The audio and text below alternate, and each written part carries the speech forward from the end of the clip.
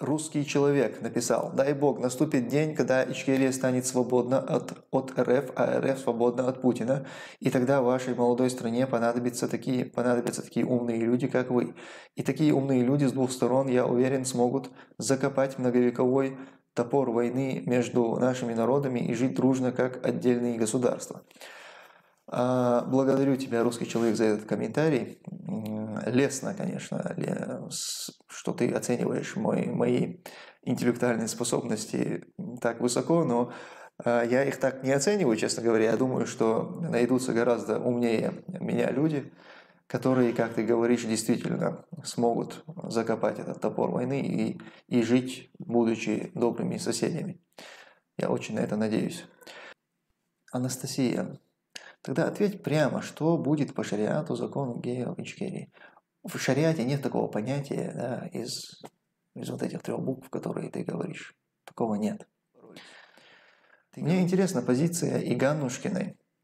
Вот она и другие правозащитники плачете о том, что в Чечне убивают ЛГБТ-сообщество, да, но они защищают тебя, человека, который хочет установить государство, где будут пытать и убивать э, прилюдно или тайно лиц нетрадиционной ориентации. Зачем нам, жителям Европы или России, менять шило на...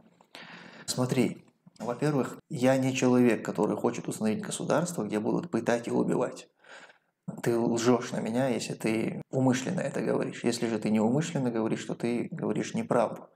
А я не сторонник, я как раз таки противник того, чтобы а, были пытки и какие-то внесудебные казни, там, убийства и так далее.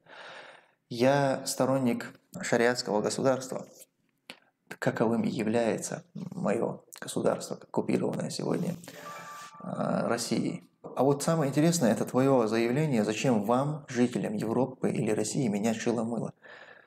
Да при чем здесь вы? Вы живите так, как вы хотите. Вы что собираетесь менять? Вы живите так, как вы хотите, а нам дайте жить так, как мы хотим. Вы-то куда лезете, я не пойму. Мы не лезем к вам. Мы не говорим вам, как вам жить. Живите так, как вы хотите. Но и не указывайте нам, как нам жить.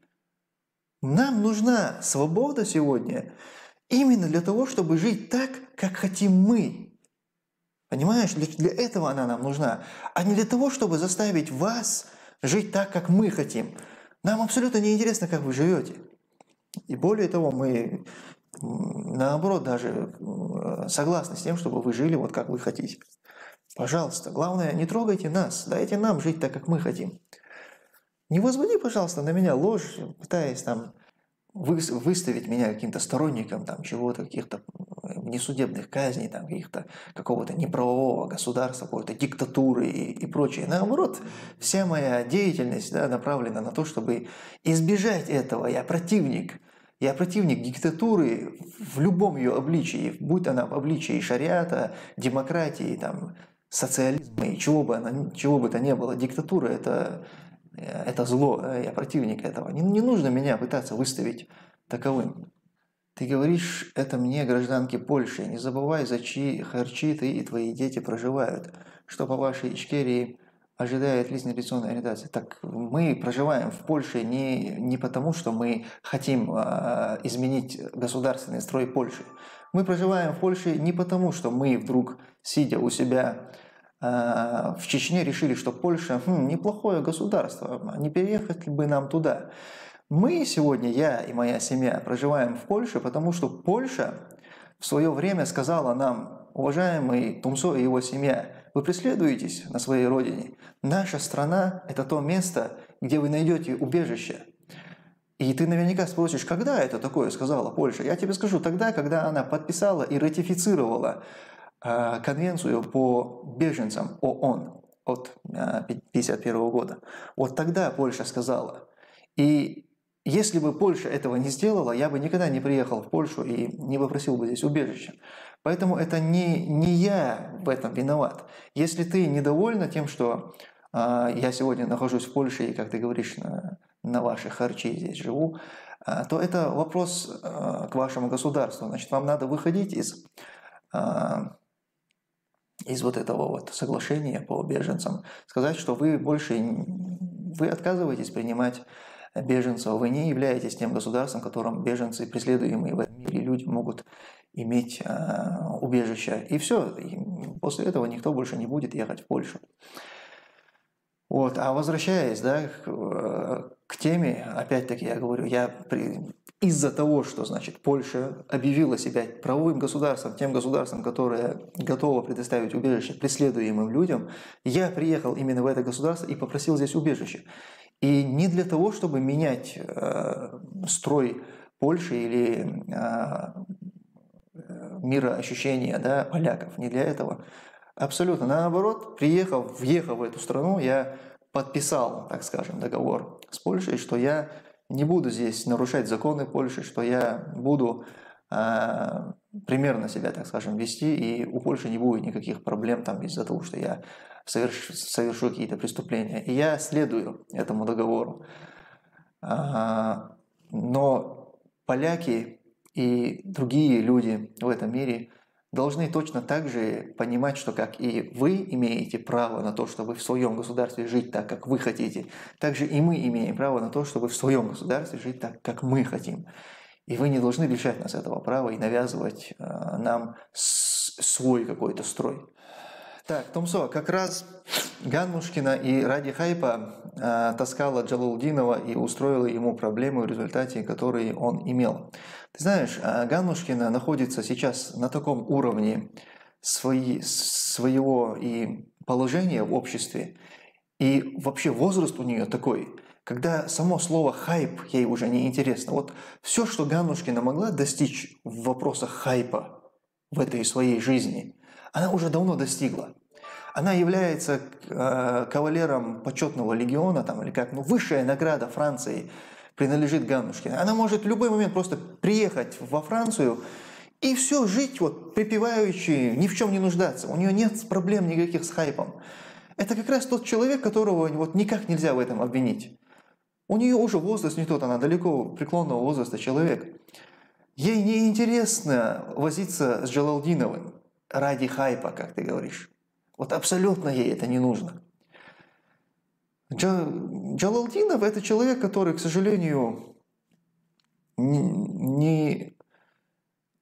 Ну, мне сложно его как-то осуждать, да, но это человек, который взял одну позицию и на ней, к сожалению, не смог пройти до конца.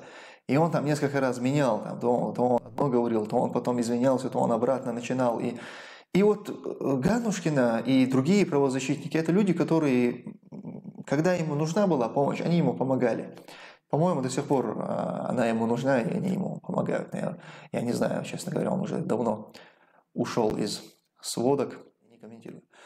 Абу Умар Исфаринский. Ассаламу алейкум, Тумсо. Хорошего эфира, брат. Дай Аллах, чтобы этот эфир прошел на приятной волне, и чтобы эта платформа стала милостью для нас и тех, кто ищет истину и справедливость.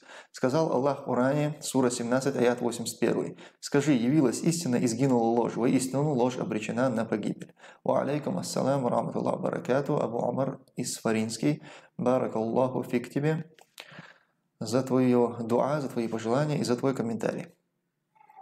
И за твой донат. Тум стоп топ написал. Я благодаря физике в институт на бюджет поступил. Русский и математику сдал средний, а физика вытянула меня в лидеры. Ну, это хорошо. Аноним. Ты наш русский чеченец. Я теперь вообще не боюсь рус... русско-чеченской розни. Ты несешь правду и справедливость в массы. Муахид, ассаламу алейкум раматуллах. Расскажи, Ахи, каков твой политический прогноз на ближайшие 50 лет или как хотелось бы, чтобы все сложилось в Чечне и России? Алейкум ассалам рамату Муахид. Политических прогнозов я не делаю, я не считаю себя достаточно э, подкованным в этой теме, чтобы делать прогнозы. Я все-таки не политолог.